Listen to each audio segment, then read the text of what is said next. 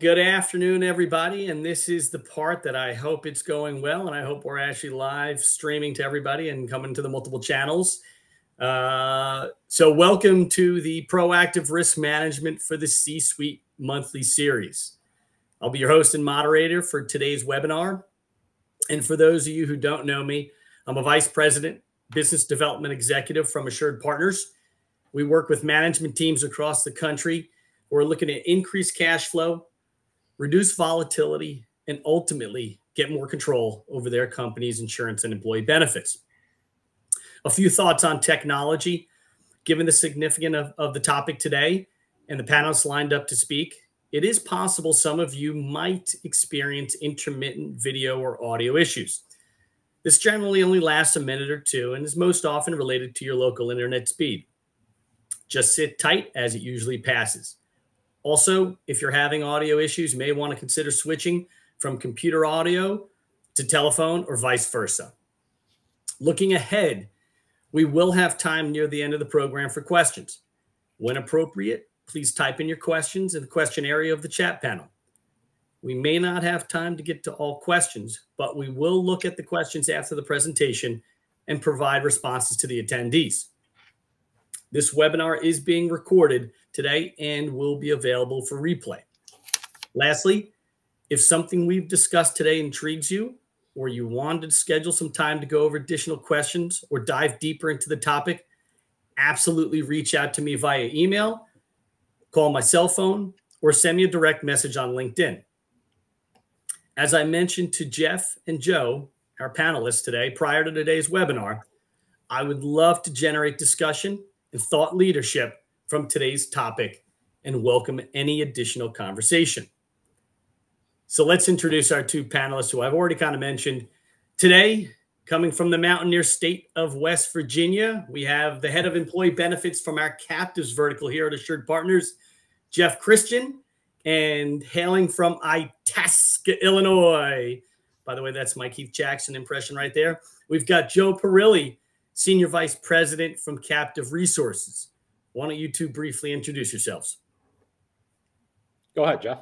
Oh, got it. Thanks. Great to be with you, Chris. I think it's a, a timely topic. Um, I definitely think it's something that the C-suite um, uh, is paying attention to, and, and I appreciate you letting me join you today to to share some of our thoughts and opinions.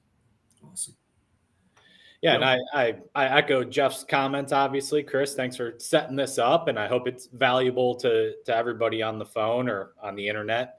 Uh, real quick, just from my perspective, been here at Captive Resources now for ten years. I've seen a little bit of everything from the health insurance side. So I started uh, when employee benefits captives or medical stop loss captives weren't as much of a buzzword as they are now and as they've grown in the marketplace, uh, Captive Resources has grown grown with them. So excited to talk about this topic. I now uh, lead our entire medical stop loss division here, which we'll get into as we go through this. Yeah, and, and Chris, maybe I should add on to that. I should give a little bit more of my background, maybe. So, um, 24 years in the employee benefits arena with Assured Partners, again out of Charleston, West Virginia, and the last 10 years um, been focusing on employee benefits captives. So, uh, one of the things that we do at Assured Partners, and I think we do very well, is that um, we have specialty units, and um, those specialty units are developed to support our business across the country. Um, designing new programs, helping helping our clients and our prospects understand employee benefit captives. And Joe, to your point, um, yeah, was in it before it was a buzzword, right? In it, in it when everybody thought employee benefit captives were like a mythical unicorn, right? And um, a lot of people don't realize how long that they've been around. Um, and now, obviously, I think you know one of the reasons that I got into this ten years ago is that you know just the struggles I've seen my current clients and prospects and the and the difficulties and challenges they've brought to the table to me, and just trying to find a better way. I think where you know 10 years ago where i was focusing on business is just the challenges of lack of providers and transparency and just uh, medical inflation and increased costs and every market's different right And the interesting part, what I've seen about captives and, and why I've kind of I've entered this position with assured partners is that um, it's it's kind of like a wave, right? It's built up in some areas faster, mm-hmm. uh, and I think because of pressure. In some areas, not as much, but it's it's definitely spreading. So uh, it's, it's, it's a very very timely topic, and and I think that Chris, you would know that both Joe and I, it's it's what we do every day, and and it, it definitely keeps us busy for sure. Yeah, and I'm, I'm glad you kind of came back in, Geoff, to talk a little bit about yourself and talk about Assured Partners because I was going to to probably start talking you up and letting everybody know kind of who the real Geoff Christian is. Uh, so I'm glad you kind of you know brought that to the forefront. Uh, so again, our topic today is medical stop loss group captives, right? And and as you guys alluded to, now more than ever, CEOs, CFOs, leaders of, of human resources, and, and business owners need innovative solutions to be proactive when it comes to one of the largest and fastest growing line items on any company's balance sheet, right? And that's what everyone calls health insurance. So without going too much further into the topic, I'm going to have you guys kind of take the take the lead here and uh, we're going to dive into it. But what I want to do, just for the folks that haven't been doing it as long as you guys have and, and really aren't up to speed, right? I want to just kind of dive in and, and just talk about kind of captives 101 to start, right? Give a quick overview and then kind of break down a little bit you know what is a what is a member owned group captive so so joe why don't you just kind of kick us off a little bit and just talk about you know captives 101 and then break off into kind of group captives yeah so a, a captive really at, at the highest level is the bringing together of of companies to form a reinsurance company and what the captive is responsible for doing is taking a layer of risk away from from the stop loss vendors we know in the market, a Sun Life, an HCC, a Berkley. So truly, it's acting. I like to call it in somewhat of an upside down reinsurance mechanism. The captives taking a defined layer of risk. Um, captives aren't new, Chris, as you said, right? Uh, the single parent captives have really been around for 50 plus, maybe even 60 plus years, if not dating back even further you know, group captives really came to light 40 years ago, more so on the casualty side, work comp, GL, auto. And as we've said over the last 10 years, have really evolved on, on the medical side. When you start getting into the idea of being member owned, that's really where captive resources comes in from the consulting perspective we don't operate as brokers, right? We, we don't want to play that role. That's why we partner with folks like yourselves. Uh, we want to be the ones there educating on what the group captive idea is, how it works, and truly what it means to be an owner of that of that reinsurance company. When groups join a member-owned group captive, they they truly become an owner. They are making the decisions a captive resources or any other captive consultant is just there helping them steer their insurance company forward. We don't have an ownership stake. We don't uh, make decisions on behalf of the captive. It's about educating the members, bringing the information to them, and letting them make a decision based on all of the information. So, that member owned piece, in my mind, is a big piece of what makes group captives, just in general, very successful. And, and, Geoff, any any follow on thoughts to kind of what Joe just said right yeah, there? I mean, I, I, think it's important what Joe's saying is that they're a program manager, right? And and what's important about that is, you know, they are not owners, um, and they manage specifically multiple captive cells. I think what's important is, I think sometimes we don't speak highly enough about having a solid program manager around captives because it's really the one that's kind of keeping everyone moving in the right direction and doing things behind the scenes to make sure that things run effectively and efficient efficiently which means that a well-run captive is going to is going to grow right i mean that's the idea of it it's going to grow and it's also going to become you know more efficient and and its performance is going to be better the interesting part about the member owned is that I think that when we're introducing new clients or new prospects to this concept, is um, you know you can explain to them you're putting them in a room with like-minded individuals, and that's important, right? You're putting everybody. It's kind of like think about you just put a filter on everyone that's buying employee benefits and you're putting people in the room that are engaged, right? And they're all working towards a better, a cleaner pool or or they're just working for better performance. And Chris, you said it best. I mean, I would argue to say that most companies' employee benefit spend is number two right behind payroll, right? So it's not going anywhere. It's going to be blaring. Um, but you know, when you explain that you're putting people in a room and they're having real discussions about challenges that are facing them and how um, and I, I, love it when I go with my members to some of these meetings and I just sit back and listen uh, and listen to everybody share about how they're tackling these issues. But I think it's important that the program manager piece um, and how it, it supports the members of that captive and how it helps facilitate meaningful conversation, which for the group is better. And I, I think it's important too. Geoff, Geoff said like minded a few times, which in my experience can sometimes get confusing, right? Some people think like-minded, we're all in we're all truckers or we all do the same thing in an industry. Right. That's not the case. Um, if you look at the makeup of, of most health captives, it's heterogeneous in nature. When we say like minded, and Geoff, I'm assuming this is what you mean too, it's people who want to get away from the status quo, mm-hmm. trying to buy insurance off a spreadsheet and move deductibles around and put more onus on the employees and their families and really find a way to gain that element of control, right? And that's the like minded nature of folks who decide to become owners of a reinsurance company. They just want to do it different and they need to do it different because not only is medical spend probably number two on the P&L, if you look at studies, especially with a younger workforce coming out, it's what people are asking about related to packages that they're going to receive. It's about retaining and gaining new talent.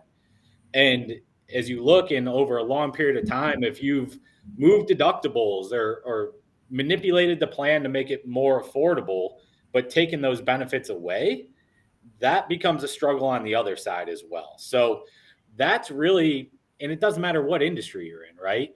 That's really what people come into a room and want to discuss and share and learn about because they're seeing the migration of people and they want to find ways to keep that talent.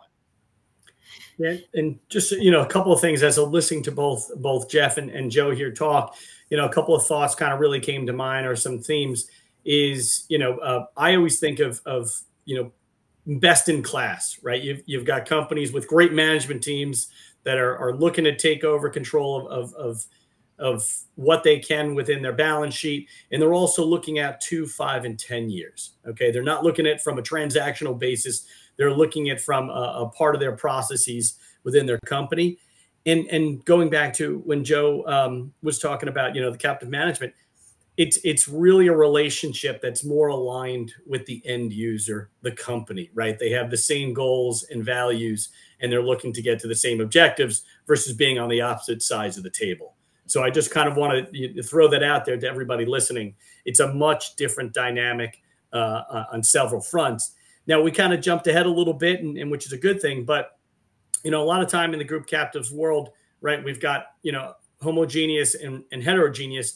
In the medical stop loss world, for the most part, everything is going to be uh, heterogeneous. Is that correct, Joe?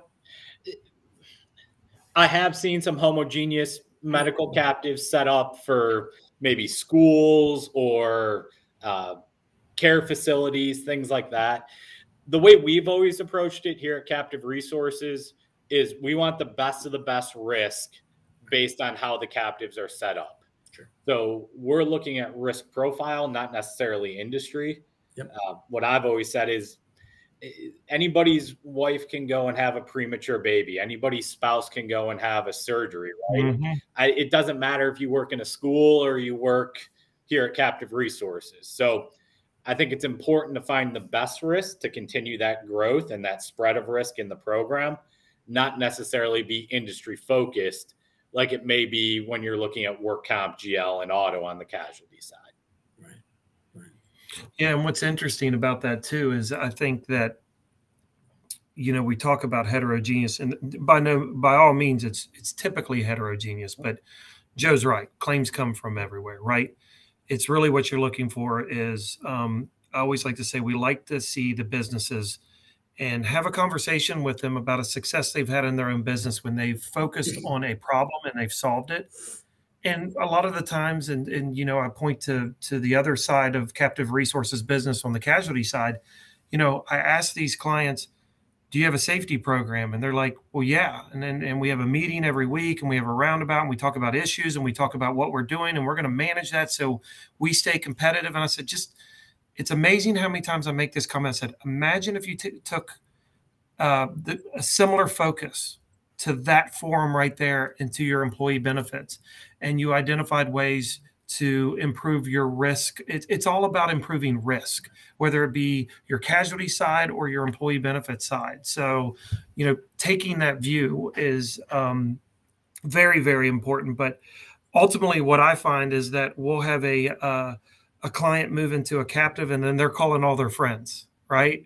And they're in the same industry. Right. so the other thing that I'm seeing too is I'm starting to see where some of these, I call them hardened markets across the country, where for whatever it may be, I mean, obviously there's a lot of consolidation going on with healthcare providers today. That's a challenge. You know, we've got, you know, it's it's a multiple moving problem, but some of these markets are a little bit tougher. In my and in my you know backyard that's what i was experiencing you know we haven't seen a lot of population group in the and you know you want to call it the ohio valley or you want to call it the appalachian region of, of where we are we haven't seen that population growth. Um, we have we're, we're typically older as compared to other states right? So what i had is i had high performing groups that needed a place they could spread their wings a little bit more where they could truly get a return on that change that they were making. So um, it, it, it's a it's a real interesting conversation when you really start talking about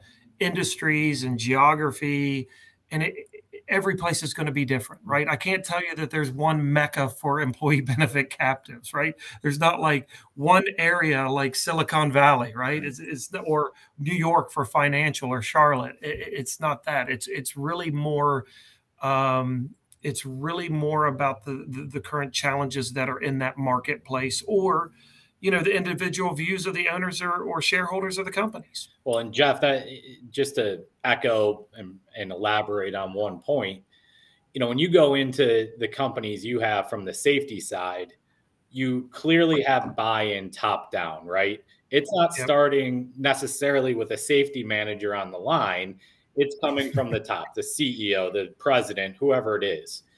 And I think what I've seen is there's been a misconception about the health insurance side and, and what wellness is and how invasive it needs to be that sometimes folks have hesitated to get that involved as they do right. on the safety side. But I think what what our members have learned is wellness is this massive umbrella that everything falls underneath. And it doesn't just have to be go get your blood drawn, go do healthy eating out of the vending machines. I mean, yeah, that's a strategy. That strategy works for folks, but it doesn't work for a lot of the population. So, underneath that umbrella comes into plan design recreation, what you're doing with drugs. Um, do you have carve outs? I mean, there's so many things that people have just been afraid of from the term wellness that truly isn't the, the purview that maybe the captive members come in and share and learn and then have the ability to go and have that top down approach. And yeah, some may do walking challenges, but that's not really where wellness stops anymore. Where maybe 10 years ago, you didn't have that much structure underneath that umbrella. You know, it, it's interesting you say that, Joe, because I, I can't echo that enough. I, I, think that I see a lot of times people are saying wellness programs, and you're right. They think about a walking challenge. They think about a, you know, a biggest loser contest or whatever it may be. And, and, and in my mind, I think we can all agree on that. It's not so much about uh, wellness as it is. I mean, you could say wellness, but it's really about, you know, educational risk management, right? And when we say educational, what we're really talking about is educating a consumer because I think we can all point to scenarios where if you're educated on a topic, whether it be car buying, whether it be buying a house, whether it be, you know, and you really ingrain yourself into learning more about what you know and what the end result could be, that edu- educational component is huge. And I think it's all encompassing, right? And it, it has to do with, um, you know, it could be as much as choosing a provider based on readmission rates rather than, you know, the price. It could be, I mean, it could be the pharmacy that you choose or whatever it is. So I think when we talk about safety programs or other initiatives in companies, it's really educational right? And that education leads to a better result. You know, I'm sure, Chris, sorry, I'm stealing your thunder. No, this is great. This is great, guys. I'm sure a lot of people on the phone have, have heard this story, but I've told it for many years because I heard it many years ago. And it, to me, it's it's the best way to help people understand there's just so much more out there that people hadn't thought of. There's a company, and we all know this company, who went out and uh, surveyed all the hospitals in their area and found the highest rating, lowest cost facility in network within a certain mile radius to deliver a baby. And you know how you can write into your not plan document, but into the SPDs that you can put steerage in there, which is a risk management strategy, right? You're not forcing anybody to do it. But if one of the employees or their spouses went and delivered a baby at one of the three hospitals. I forget what it was. That company then paid for diapers and wipes for a year for that employee. I mean, I I would be having that conversation with my wife to go and at least look at it, not forcing anybody, but yeah. when you look at the cost savings and now with the transparency data slowly becoming available, you just have so much at the fingertips that can help drive costs um, outside of just the stop loss, just in the everyday claims that employers can start to take advantage of and try to flatten out overall year over year spend. And, and this is kind of the beautiful part, right? I'm, I'm in, I'm in such a wonderful position here being kind of surrounded by folks like you guys, right? You guys are so ingrained. You guys know this stuff, you know, like the back of your hand. But again, what I'm hearing you know, when you guys are speaking, I hear about kind of, you know, the education of, of the end user, and I'm hearing about empowerment, right? Empowering management teams, empowering business owners, empowering the employees of the companies that join, you know, these medical stop loss group captives. It's it's really powerful. Um, but I just want to kind of give, you know, the people listening and, and the people that are going to be watching the replays, right? If if there is, you know, if there's not a specific industry or geography that fits well? You know, what are some kind of guidelines of either size of companies or or or talk to me a little bit about that, guys, of, of what does tend to work well with medical stop loss group captives, right? Yeah, from from our perspective here at Captive Resources, we we've seen it all over the board. Uh, now, remember, when you're joining a group captive, you're transitioning if you're currently fully insured to self funding or medical stop loss us insurance nerds have four terms for one thing. So, um, and that in and of itself has a bit of a size, uh, not restriction to it, but we try to stick with those guidelines. There aren't a lot of TPAs that go below really 40. Some do, but we try to keep the minimum size in our group captives right now, the CRI group captives, to 50 employees on the plan. Yep. I think one of the misconceptions is well, once you get over a thousand employees, they're too big for the program. We have groups 2,000. We have a group that has 5,000 employees on the plan, and it still works because their stop loss is such a small percentage of their spend relative to what they spend below their deductible. So they get more value out of coming and learning and hearing new ideas and frankly sharing with everybody else what they've done that's innovative that it still makes sense for them to be in the program. Now if you get over 5000 are could there be other outlets? Yeah i think so but i really look at that good middle market everybody defines it differently but i try to focus on anything from really 50 to 5000 i think has a decent story and explanation as to why the captive would be a, a good fit and we have different programs that fit different sizes too. I think that's important. Um, but I, I don't think the thousand is is a good cap. I think it it goes upstream from there still. You know, it it's it's funny, Joe. Uh, thinking back, if you would have asked this question to us about two years ago, three years ago, maybe even a year ago, it's changing. That's what I'm seeing, right? We're seeing that there are program managers that there is a very underserved market that's going down to 25 now that you got eyes wide open when you get that low. To your point, some of these third party administrators just you know the amount of, of work and process that needs to take to service a, a group they steer away from it because it's not real profitable for them right yeah. Yeah i get that.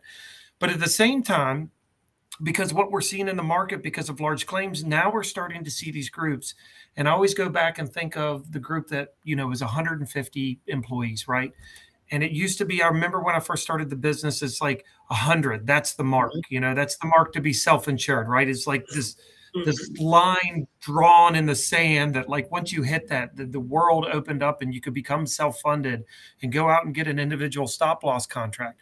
Now what's interesting is that being a hundred person individual self-funded account not in a captive there are because of the size of the claims that we're seeing there's risk right? And you are on your own island. So now i'm starting to see these groups that are 400 500 you know, and up thousand and further, wanting to come back and look at a group captive strategy or a program that's more geared to folks that have been self-insured before because of the protection, right? So they're kind of swimming back to their friends a little bit, and it makes sense. It makes sense with the carriers. It makes sense with the TPAs.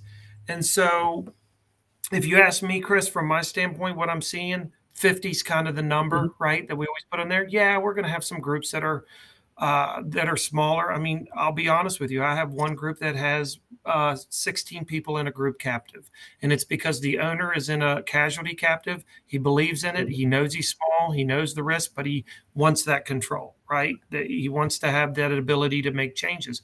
50 kind of being the number and then but i i see that that the range to joe's point is moving further up to larger and larger groups um, every day that goes by every day. And I, I, think a big part of that too is a, a captive's not a captive, right? If you've seen one captive, you've only seen one captive.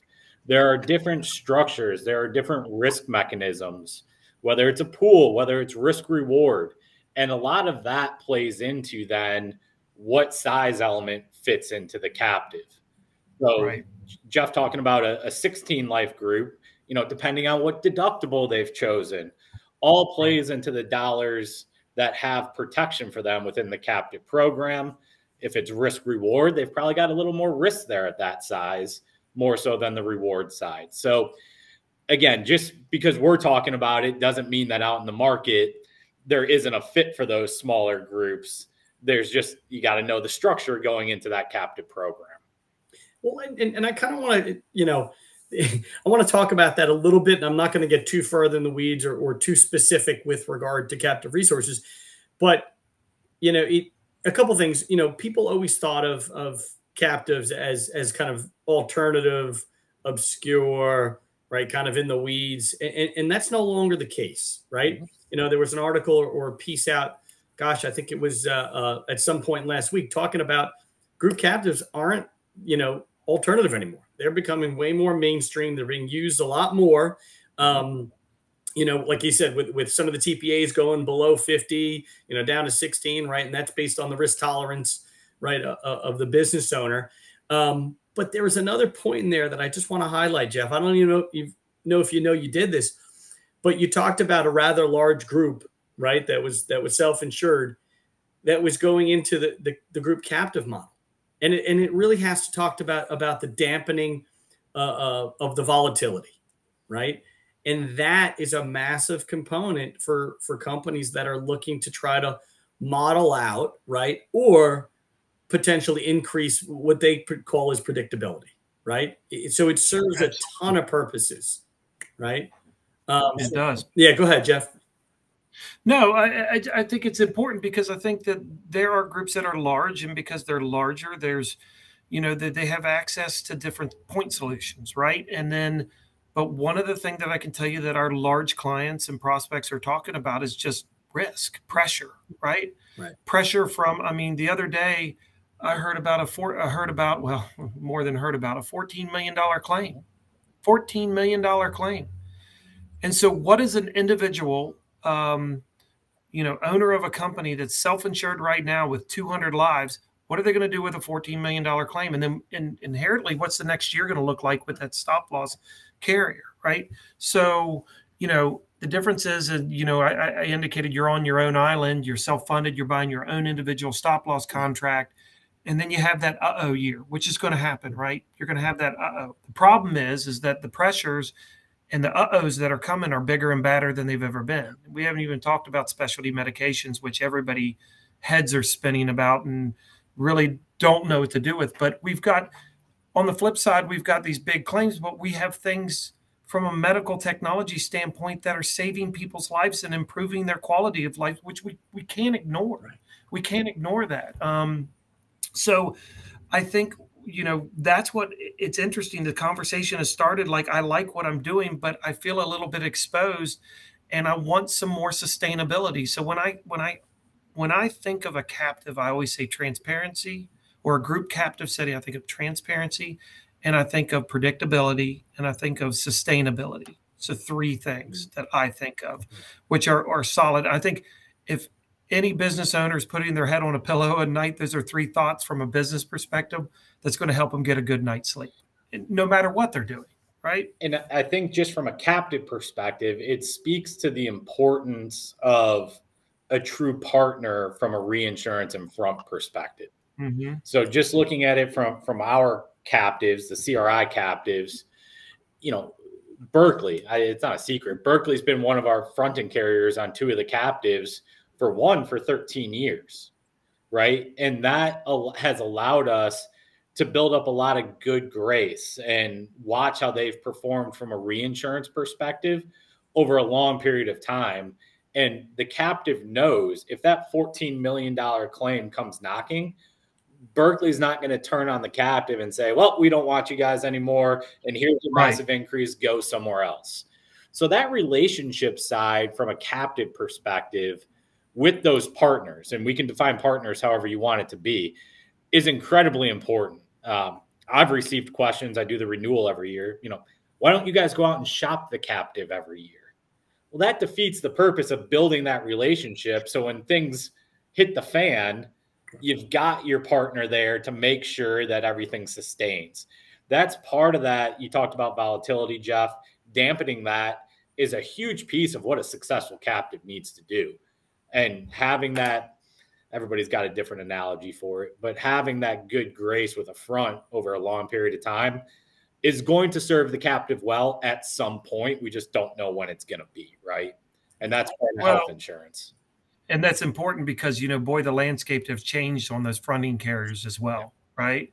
And um, I always say this when you kind of get into the room of those that are you know truly truly involved in employee benefit captives from either a fronting standpoint or um, whatever financial standpoint the room's not that big right?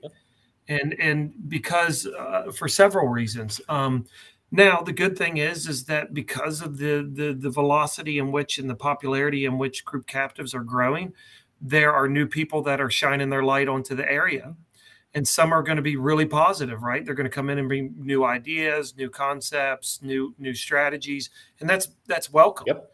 um, but you know joe you couldn't be more right. Uh, having not all captives are the same right? I think we said it best they're not all the same. And i, I love it when someone says well it's a captive. No they're different and and and that's what we do right? You know um, chris you and i've talked about that. That's that's what we do. You know what is the best fit? What you know it's really diagnosing that client not only their wants and needs but what makes the most sense for them for several reasons and they're not all the same. And um, we're seeing a lot of new uh, joe i think you've seen a lot of new captive managers pop up right? Mm-hmm. um, you know that are entering the market. And again just speaking to it's really speaking to what you know employers and business owners are wanting and that is a better way to do it. You know and, and a perfect example I'll, I'll, talk a little bit from the captive resources perspective.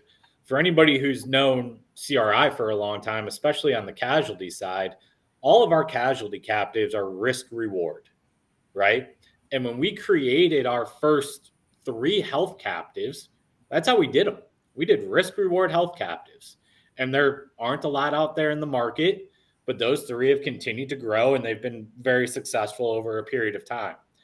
But as you talk about looking in the marketplace and looking at needs and wants from employer groups, you know, there are other structures out there that are outside of what what we had done. And creating that structure is vitally important to be able to have something to offer back to those groups. So, yeah, it's not just it's risk reward or it's pooled or it's pro rata share.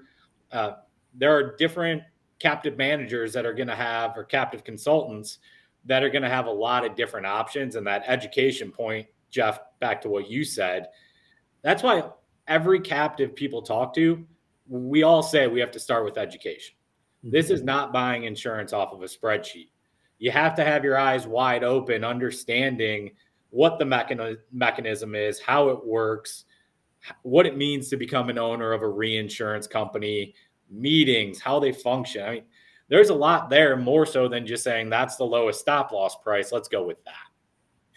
and I, I'm, I'm speaking for myself, but I have heard in the market, we all kind of start the same way. Let's start with education. And it's a big piece right. of this captive world. Yeah. And, and, and just to kind of, you know, for, for the folks that are watching this, right. And, and those that aren't in, you know, a medical stop loss, stop loss group captive yet, there are different you know different vehicles for the folks that are coming from the fully insured world right for them to go into. They're not going to be able to go into a more of a risk reward uh, uh, mechanism potentially in the beginning right? There's ones that they're going to kind of step into and, and kind of get into the world. So i would just ask folks that you know don't don't discount uh, looking into this right? Pick up the phone let's have a conversation uh, it might be a good fit now maybe we, we need to do some things to get you ready for it but let's pick up the phone and let's have that conversation because there's a lot of education, there's a lot of empowerment that goes into this. Um, and I want to kind of use a, a segue that Geoff had thrown out when when you know he he was talking about specialty drugs and and some other technologies that are going on. And I'm going to try to share my screen here. I hope this goes right. But one of the things that I want to do, I, I hope this is okay. It's not meant to shock and, and, and ruin people's day. But uh, there was a, a, white piece or white paper put out by Berkley that, that Joe's mentioned that talks about, uh, it's titled Cell and Gene Therapy State of the Market. Okay. So let's, I'm going to try to share my screen here. I hope this goes well. Um, let's see how this goes here. All right. Can everybody see my screen okay? Yep. All right. So again, this came out uh, only within the past uh, about three months or so right? And I just want to kind of show some of these numbers here really quickly of, of some of the recently approved drugs, right? You've got cell therapy and gene therapy drugs. Um, again, Joe and Geoff, can you guys see my screen okay here? Yeah. Yeah. Okay. So we can see these numbers over here on the right that I'm kind of, you know, hovering my mouth mouse over, correct? Mm-hmm. Mm-hmm. Can you guys read off some of these numbers really quickly to the folks that might not be able to see those numbers? I see. You're trying to get me heartburn today? I see three and a half million. That's the one I'm going to read off. Three and a half million. Yeah, and that's that's um, I, I, I presume that's per dose or or per treatment, right? Yeah, for hemophilia. Yeah, yeah, yeah. And we've got another one for three million, one per two point eight million. And again, these are recently approved drugs, right, for gene therapy, cell therapy. Um, so and, and the, the reason why I'm showing this is to kind of say to people or or get them to think we need to become more proactive right and, and find ways of getting more control over what's going on in the world right? These are great things for our employees and their family members and, and what could potentially happen to people medically. These are these have great benefits and we need to be able to pay for these right it goes back to the risk financing right? How do we finance these without bankrupting a company? Now, I'm going to ruin everyone's day a little bit more potentially, but I'm going to scroll down to some potential um, solutions that are uh, that are expected approvals this year. Okay, it's a pretty decent list. So we got more coming, right? And again, I'm not trying to ruin people's day, but what I'm trying to do is provide some some transparency and some insight as to what's going on in the world and these impacts that are going to be uh, impacting on companies' medical plans. So I'm going to stop sharing the screen, but I do want to get some thoughts from Joe and, and Geoff on, on some of these cell and gene therapies that are coming our way. Yeah, I'll give my real quick thought, Geoff, and then obviously from your guys' perspective, you yeah. probably see it a little more often. You know, this gets back to the like-minded nature of of being in a group captive. In my opinion, if groups are making the decision to take that leap, they have inherent qualities about themselves and about their company that everybody else does, right? They probably care about their employees. They want to do its best. They want to control their spend. So they're not moving, you know, the programs around and passing costs down to the employees. Now, what I've seen and where the struggle comes in for companies like that is a lot of them being very paternalistic also want to make sure that they're helping their employees and their families. And everything you just showed, Chris, is life changing. Mm-hmm. And the dilemma becomes how does a company afford a three and a half million dollar drug or the impact that could come from that to save an employee who they feel that paternal, paternalistic instinct to and and that's that's really the dilemma and the conversation that we've seen kind of take shape within within the captive dynamics. And I, I don't think there's a one size fits all solution yet and i'm sure there isn't. Um, but again, when you talk about the power of a group captive to be able to have conversations with others going through that same thing and finding solutions and finding outlets, that's something that might go unseen if you just jump right into the numbers of a captive. Oh, you're not competitive from a stop loss perspective. Why? Because it's 3% high. I mean, there, there's so much more that goes on outside of just the number side.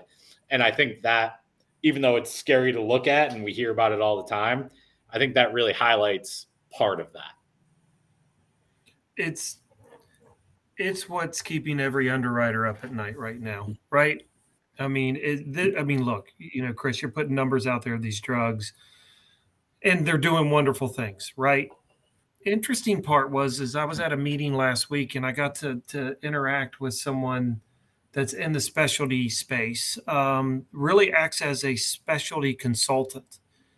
And what's interesting is is I think we're going to start seeing some clarity coming to this. Right now, all the stop loss carriers are like, you know, let's get a solution for this. You know, that, that was the first thing that says we got to figure out a way to solve this. And then when you look at how these large ones, and you, if you saw the number above them, how often they happen in the population, they're not as evident as you think they are, right? And so right now, a lot of the stop loss carriers are saying, look, we can take the two million, three million dollar hit, right? When they when you're seeing a pipeline though behind that of what's coming, then the conversation starts moving forward. And now it's not only a handful or 10 drugs that are out there and approved or, or 50 drugs, whatever it is, then it becomes 100 and then 150 and more, so, you know, so on and so forth yeah, some of these drugs. I mean, if you can mm-hmm. take someone who's a hemophiliac and solve that problem, you're ultimately going to be saving money in the long run, right? No question about that. If it can solve that problem. So the interesting part is, as I go back to think about organ transplants. So if we kind of take this path the same way, right? Organ transplants. Um, gosh, I can remember as a kid, you know, hearing about, you know, the very first, you know, when or when heart transplants started happening, what a big deal that was, and get how getting approved as a facility to get a heart transplant was there were only a few of them and now there are several of them across the country that are doing actual transplants you know kidneys livers hearts eyes skin you know other tissue right mm-hmm. and so then what happened in the in the insurance industry or not in the insurance industry but in the healthcare industry is a better statement is we started seeing these centers of excellence mm-hmm and when they wake up in the morning and they put their pants on and tie their shoes, that's what they do. And they do it well and they do it efficient. So the interesting thing that I think we're going to start seeing is centers of excellence revolved around specialty medications and gene therapy medications. Interesting part is, is that not every physician, you know, you really have to go and get to a healthcare provider that understands this. And I'll give you my example about Zolgensma. It was touted as the one and done, right? I'm sure that someone maybe watching this could debate it, but what I am hearing is that the success rate is, is not nearly as high as once thought it would be. And what's happening is that one, two million, $2.3 million drug, whatever you want to frame that the cost is, you get that drug. And, and, and Joe, to your point, that paternal instinct of, you know, how do you look at an employee and whose child needs this drug that could change their life and say no, right? right? So I always say to make myself feel better, there's my economic mind and then there's my sensitive mind. So don't frame me as not being sensitive to someone's condition. there's an economic conversation to it too. But what in this particular case, you know, the drug didn't work. The backup drug that started being used, which has been being used, is a $750,000 drug. That's number two in line mm-hmm. to this big hitter. So I think what we're going to see is we're going to see an ever moving, changing response from the industry, but I think we're going to see a mapping in of truly centers of excellence um, that, again, what they do when they wake up, this is what they do. And then there's going to be, I don't want to call it a gatekeeper, but there's going to be more thoughtfulness to pre qualifying those that, you know, instead of just trying it because, oh, let's give it a shot, there's going to be uh, a little bit more rules and a little bit more guardrails put around these things. So, one thing that I can say in my you know 24 years of experience, when there's a problem, there's usually a lot of people that are coming up uh, with a response, right? And and and not a response to say no, but a response to do it better and build efficiency. So I think we're just on the climb of that mountain to do that, and it was really eye opening from that meeting I had last week to say, yeah, these are drugs that are out there. And Chris, what you didn't show is all the other drugs that are in the pipeline that we're seeing between twenty-five and a hundred thousand dollars, which we kind of, you know, we kind of just ah, oh, it's a it's a hundred yeah, it's a hundred thousand. Tell me when we get up to about five hundred thousand and I'll get interested, right? Yeah. That is a weird thing to say because it wasn't the case three, four years ago, right? Um, we're starting to see drugs that were developed in the 50s that are coming back out um, being used for other conditions today. Matter of fact, a lot of these drugs are starting to be crossed over into other conditions. Mm-hmm. And what's funny is a lot of these drugs that were developed in the past are still highly effective for a lot of people's chronic illnesses. So it's an ever mapping, ever changing. But Joe, to your point, um, you got to have a conversation around it, right? And I always say it's not that that we want to prevent we don't want to prevent people from taking these drugs. We want the right drug for the right price in the right location, right? That's kind of the three point solution when we look at delivering these high high dollar drugs. And I, I think if you take it back to just the general stability and strength of a group captive conversation too, it speaks to the the importance of a a, a properly underwritten group captive. Mm-hmm. But it goes back to what I've talked about earlier that longevity and, and partnership with a fronting carrier as well. Because if, if I look at the group captives that we've seen and, and helped create, you know, using somebody like Berkley just because you pulled up their study, and them looking at one of the larger group captives as one kind of large company underneath their umbrella yeah, they can absorb a three and a half million dollar claim, but the captive's reinsurance loss ratio up above the captive layer is still going to be somewhere in the 60 to 70% range. And, and that's important because that then Berkley is profitable. I'm using Berkley, it could be anybody. Mm-hmm. And that's what we want in a good partnership. But they don't always have to come back then and penalize that one group for that one instance that was somewhat out of their control. And I know we're talking about drugs, it could be anything, it could be a premature right. baby, but as, as claim dollars continue to rise, having well underwritten the right groups coming into a captive and a majority of those groups outperforming adds chris what i think you said kind of that layer of protection to still help stabilize over the long period of time because you're not on that island. It's no longer them having to come back and try to get money from you. Your insurance company, your reinsurance company performs well in their eyes, even though you had a bad claim. See, Joe, you, you went exactly to where I mean, uh, maybe it was kind of coming across my huge forehead here, but my thoughts as you guys were speaking is, you know, the, these these claims, these incidences, right, right, the the um, the, the baby, the hemophiliac, right that's going to happen in the fully insured. It's going to happen in the self insured. It's going to happen anywhere along the spectrum, right? Mm-hmm.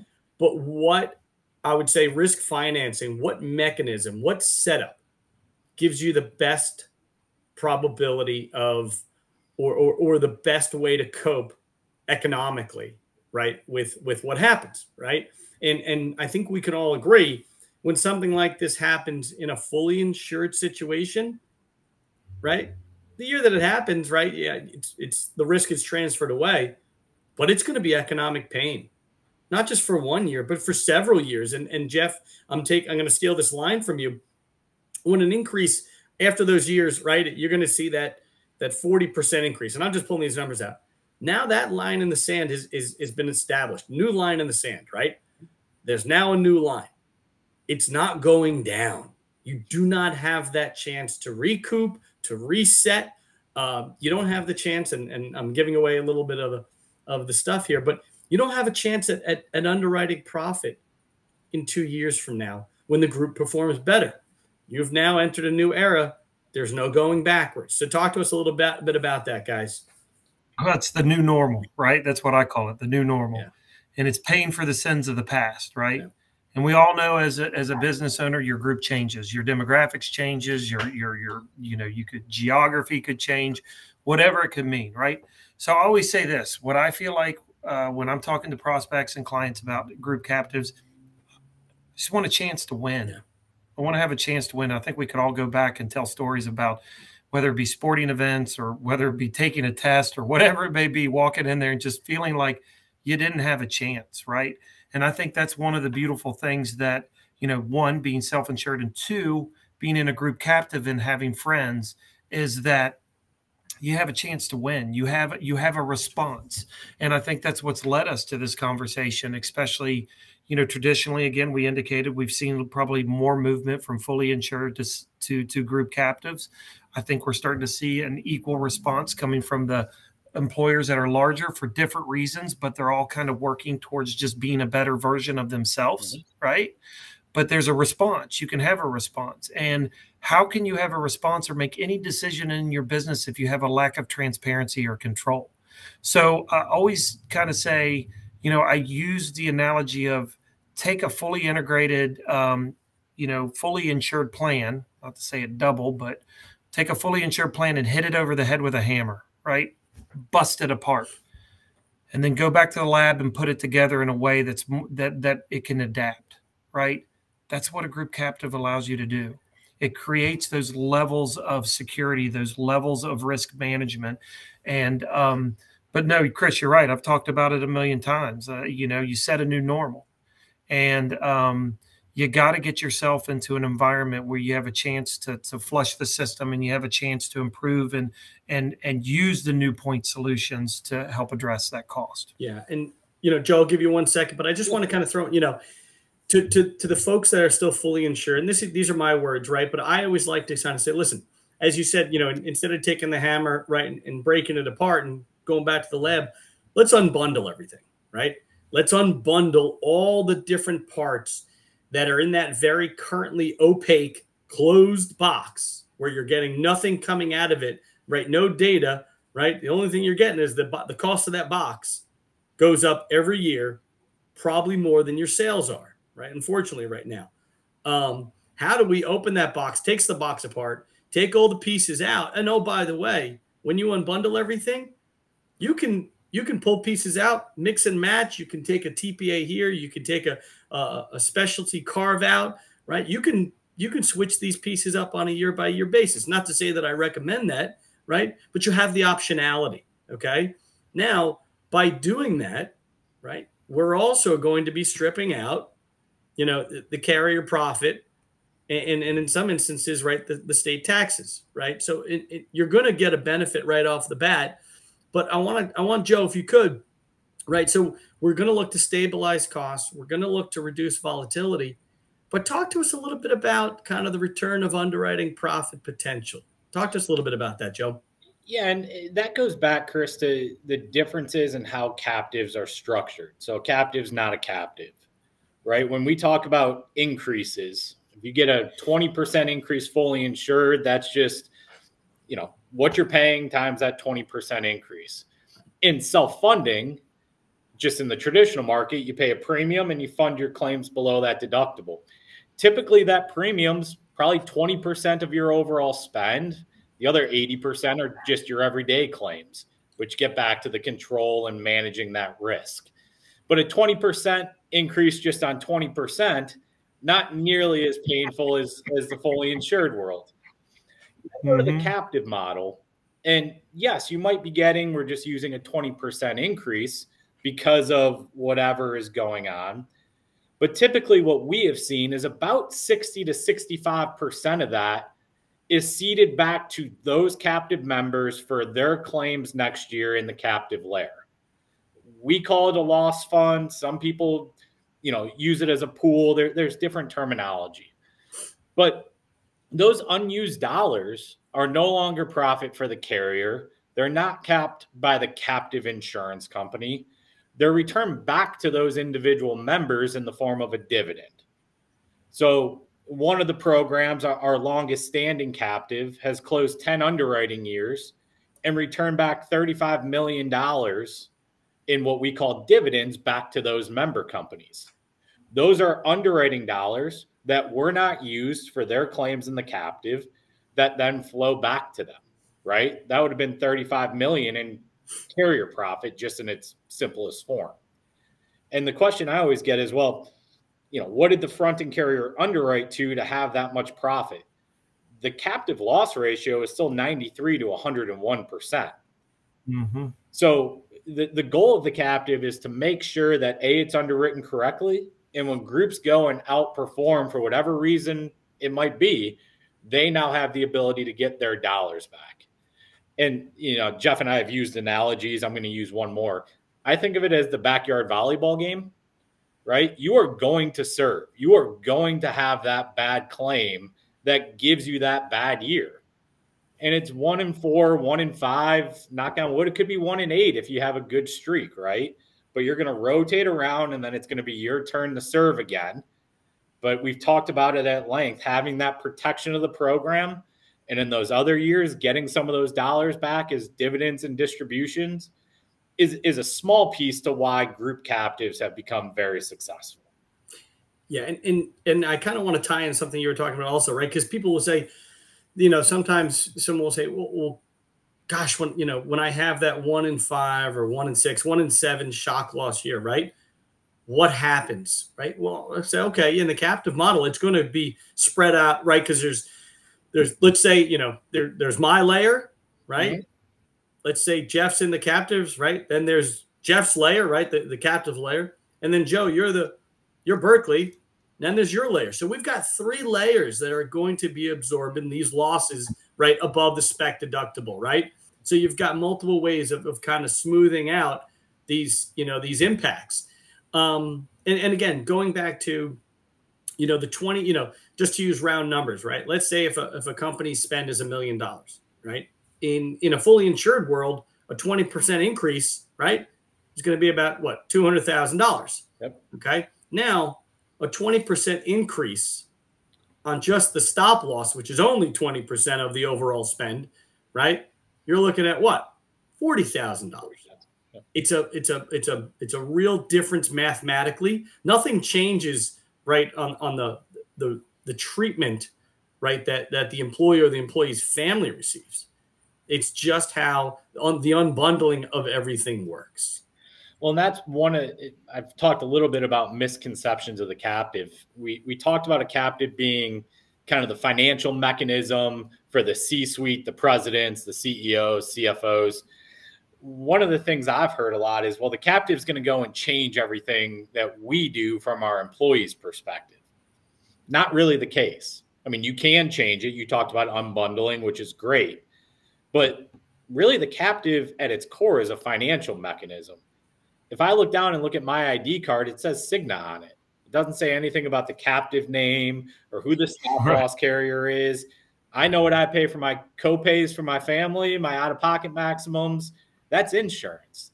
The end users don't care and shouldn't care about the captive mechanism, right? It, it just doesn't matter. Right.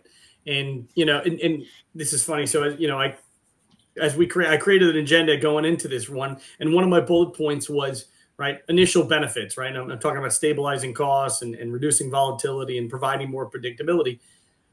But what I've heard from, from you know current members of, of the medical stop loss is that's what might get them into it Mm-hmm. But once they're in, it's these follow-on benefits that greatly outweigh the financial, right? And I can see you guys kind of nodding your head, right? and and you know, some of the things I wrote down here, right? You know, it's it's you know the HRM, you know, the the the sharing of best practices, right? The the cost control. You know, during the pandemic, you know, members of the group captives huddled together and shared ideas and thought leadership. So talk to us a little bit about that, Joe and uh, uh, Geoff. Yeah, the the cap uh, the medical stop loss group captives that that I have overseen and and built have 98% retention year in and year out. And rarely, I mean over 10 years, maybe once or twice, has it been they just want a different insurance outlet. Companies go out of business, private equity gets involved, right. buy, sell. Uh, you don't see many groups leave these structures, and it's not just captive resources structure. It's really all medical captives I've seen just have great retention because of that piece. Yes, the financial aspect is a lot of what gets them in the door. Um, and again, based on that education, you want to talk about the benefits that members get from the sharing, the networking, the ad hoc committees, everything that happens kind of behind the scenes. But until a group actually goes to those meetings, until they get involved in an ad hoc committee, until they leave a meeting with seven pages of notes of things they may not have heard before, it's really hard for them to find that value. But once they do, they it's something that kind of trumps that 20% of spend, right? We've seen groups get increases on the stop loss, but still have a lower overall spend year over year because they've implemented strategies here and there that have help the employees choose better paths or whatever the case may be. They got a large drug off the plan. So to me, eh, there there are a lot of benefits of the captive, the member owned, the distribution. But if folks are not talking about the aspect of controlling overall spend, inclusive of all of those everyday claims, then that's really missing the boat of what partnering with like-minded groups is all about. Right. It's that's right up my alley. So going into captive step one, it's a big hurdle. It's a leap of faith for a lot of people because it's different than what they've ever seen. The real work starts once you get into a captive because then you have again to joe's point we've talked about it transparency and control you can start seeing how things are moving and you can see inefficiencies and it's amazing what you can find number one I can't tell you how many groups that come from fully insured. They they they look at a captive and you say rebates, and they're like, "What's a rebate?" well, and and I'm like, "Well, let me tell you what rebates are." And you know, I I think it's a conversation I have all the time. It's like going shopping, right? Look look how much money I saved. The goal is not to get to maximize your rebates, but the point is, is there is a solution. There's not a solution. There is a grab back or a way to pull back some of your money through your pharmacy spend that you never had a chance to do before that the carriers were keeping on their own right? Number one. And then that opens up a whole nother host of other of other opportunities and discussions. And it's like when you open a door and see an opportunity you go to another door and open up another opportunity. And it can what my groups are doing today versus you know what they were doing five years ago in a captive are completely different. But we can do that. I mean, we're talking about specialty medications, right, Chris, and the cost. But at the other side, why don't we talk about some of the stem cell therapies that are being done to prevent people from having, you know, ace, you know, having repairs and surgeries that are, you know, multi, you know, tens of thousands of dollars more. So there are technologies that are coming out and more to be expected that are going to improve upon, right? I mean, you know, um, mammograms and x-ray technology that's being done portably now in you know in these villages you know across north america i mean there's amazing things that are happening so i always say getting to the captive and getting to the structure very important yeah. and, and, and it's from there on what you can do to drive and and how the eyes open and joe to your point my personal book of business over 10 years 100% retention now i conveniently don't include the three groups that left because one got too small, one got bought out by a top five accounting firm, and one um, private equity investment. So to, to it just checked right into. Yeah, I add the, I add those in there, so my ninety eight percent was a little more okay. true than just hundred. okay, so I'm ninety. So I'm ninety five percent. The, data is okay. key. The data. Again, yeah, it, it's the transparency and the unbundling. It's just inherent in, in everybody here in the in the captives vertical, right? right. In, the, in the group captive space. But and not to beat a dead horse here, but all I keep hearing is just empowerment, right? When when you can take a um, a business owner, management, right, a CFO, C, CEO, and you talk to them about things that they might not be aware of, or or different methods or, or ways of financing. That to me is huge, right? And then when when the HR folks and and and and the employees can benefit, right, from from once they enter to, to going forward, that's that's equally as important. Also, now we're at the kind of the hour and five mark. Um, we do have a couple of questions in the queue, which I do want to address, right? I'm going to have to hold back a ton of these, but I do want to kind of throw out a couple of these to, to Joe and Geoff. Um, the first one that, that we have here is um, we just renewed. Do we have to wait till our next renewal to join a captive resources group captive? Joe, I'll, I'll let you kind of tackle that one. Well, so I'll I'll actually let Geoff tackle it, but from our perspective, you know, it, it, depends on how you're funded, right? There, there's a lot that goes into that. If you're fully insured or self-funded, there's there's different moving mechanisms, right? So talk to your uh, medical consultants, your brokers to, to really find that out. From our perspective, we'll write groups into any of these group captives um, at any point in the year. Group captives have a common anniversary date related to stop loss. So for us and for the captives, it's about short contracts and long contracts that first year to wrap them to that common anniversary date. Uh, outside of that, you, have got to talk to the the Chris's and the Geoffs of the world to see if there's any penalties, any you know, do you have claims accruing to your deductible? You, you probably right. don't want to move mid year if, if that's the case. If you're fully insured, you've got a little more flexibility. I would say it's never too early to start learning about captives, whether you just renewed or not. Have that conversation. Back to your point, Joe, education, right? Because there is there is a curve that you know, um, and questions are going to come from those conversations. And to Joe's point, you know, from their standpoint, it's a it's it's a common contract date for reinsurance. But I will tell you, there are a lot of groups that will have a plan year that runs off cycle of the reinsurance renewal, and that's not a bad thing.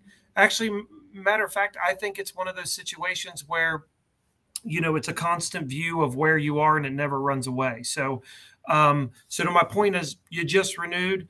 Great. Maybe take a deep breath. Don't know how your renewal was, but take a deep breath. Maybe relax for a little bit. You know, when I say a little bit, a couple weeks or a month, whatever it may be, and then you know, learn more. Learn more about it so that when it does get close, because the other function, Joe's handling the, the medical stop loss side. The other thing that's important is if you're coming from fully insured, you got to choose a TPA, and there are other decision points that need to be made along the way. And there's a go no go point yep. that you know you get close to too far past that go no go point, you're going to have a horrible ride. So there, there's a lot more to the conversation there.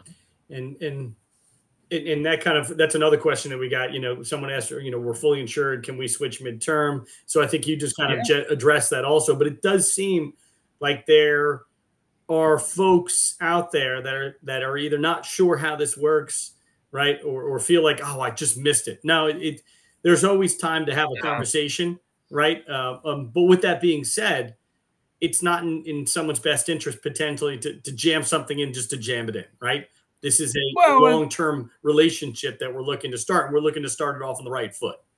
You know, recently working with a group in Tennessee, we found out like they love the idea of a captive. They're in a property casualty captive. They want to be in an employee benefits captive, but they weren't ready. Yeah. And I think that's the most important thing is that sometimes you're ready for a captive, and then you need to have an advisor that can get you captive ready. Yeah. And and and that can mean a lot of different things. Right. right? We we've educated groups, you know, in in a couple weeks. We've educated groups over three four years. So mm-hmm. it's it, each group's going to be different. Again, we've talked about it. There's a lot to get your hands around to understand really what they are, how they work.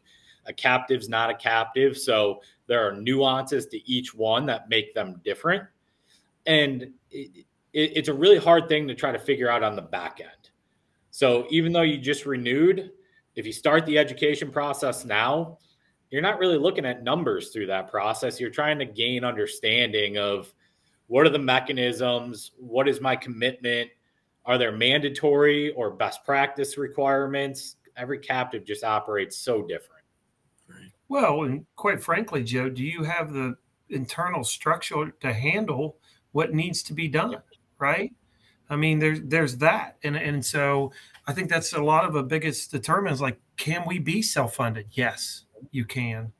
Um, again, it's it, it look it can look intimidating on the surface, but when you really break it down, you know, yes, you can. But you you're right. There's a lot of time spent on more than just you know the mechanism a look at the organization a look at you know look at your beliefs and your goals i mean those are important yeah a captive a, a member owned group captive is not going to fit every group i'll, I'll be the first one to say it uh, and that's fine that's okay but it's the education piece that's going to help you explore that right and, and so another question here and, and joe you kind of touched on this a little bit right so and this is a little bit vague and broad, but it says we like our insurance company. Can we keep them?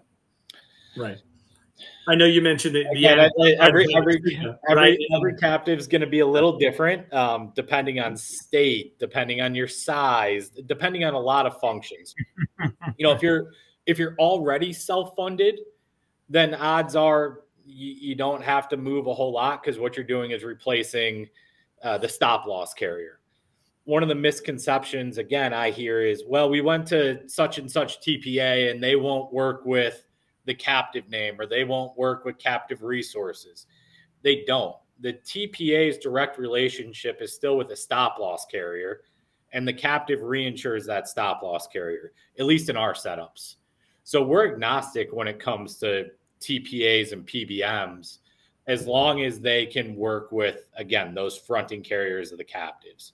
Now, over a long period of time, we've found good partners in the marketplace that, you know, obviously the, the relationship between a consultant like, like you all and us is important, and we can help with those conversations.